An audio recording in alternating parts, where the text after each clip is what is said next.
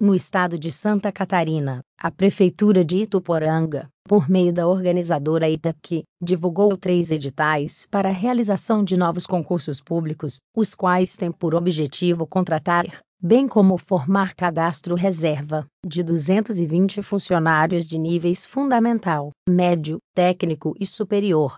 Para concorrer ao certame, é necessário que o candidato cumpra os seguintes requisitos: ser brasileiro, possuir idade mínima de 18 anos, estar em pleno exercício dos direitos políticos, possuir escolaridade exigida e demais requisitos para o exercício do cargo, estar quite com as obrigações eleitorais, dentre outras condições estabelecidas.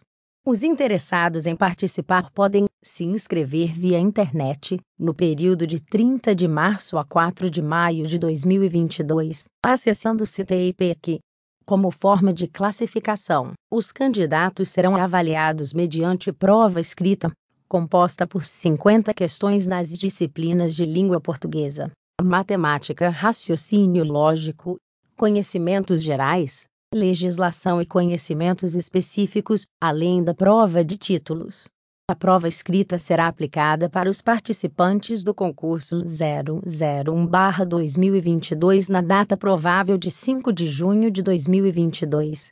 Já os inscritos nos cargos dos concursos 002-2022 e 003-2022 irão realizar a prova na data provável de 4 de junho de 2022. Todas as avaliações terão seus locais e horários divulgados posteriormente.